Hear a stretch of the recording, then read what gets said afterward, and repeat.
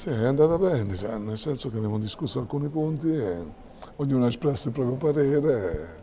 Sapete anche che la cosa più importante era un po' quelle, certe iniziative della UEFA che vanno discusse anche, anche in Lega, così è stato. E quindi noi abbiamo espresso nostro, la nostra opinione. Qual è la vostra opinione? Ce la dice? Beh, la, la grande, stragrande maggioranza è quella del rispetto un po' della valorizzazione del nostro campionato e quindi attraverso anche i club che non possono essere pochi o sei.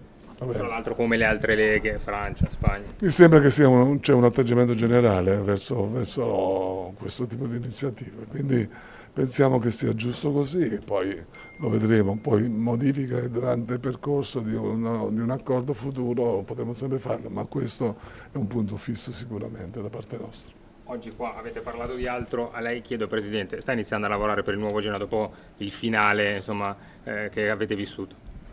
Ma guarda, io ho già detto 50.000 volte, Genova è in vendita, qualora dovesse esserci e, e spero che ci sia una trattativa seria, io oh, lascio molto volentieri, con, con un anche con un pizzico di dispiacere per quello che è stata quest'annata, però sono stanco anch'io, quindi lo dico con, con tutta tranquillità, se ci saranno offerte serie, ma serie, eh, sicuramente non vuol dire ammontare, vuol dire di persone serie. Se ci sono persone serie vengono avanti, come eh, risolvono velocemente.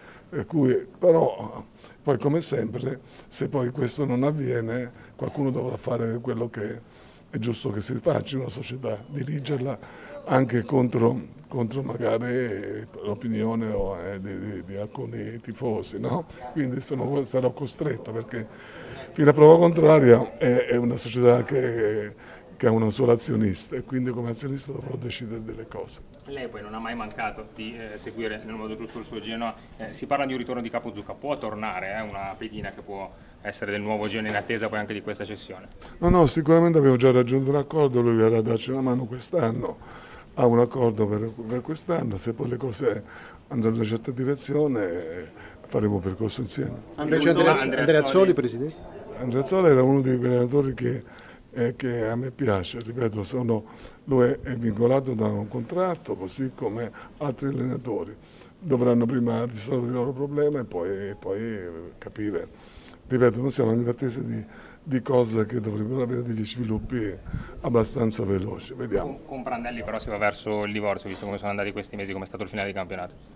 Sì, ma forse anche per lui, e quindi abbiamo condiviso, credo che raggiungeremo un accordo così di reciproca soddisfazione. Questo bene? finale di campionato è stato davvero durissimo, no, Presidente? L'obiettivo è stato raggiunto, però è stato un finale veramente a cardiopalma. Sì, io mi rifiuto anche di vedere gli, gli highlights delle, delle Inter Empoli perché mi fa ancora soffrire no? per come è andata la partita. Per cui voglio dire, sicuramente eh, eh ero abbastanza temprato anche per, per certi tipi di campionato, ma per questo veramente non me l'aspettavo proprio.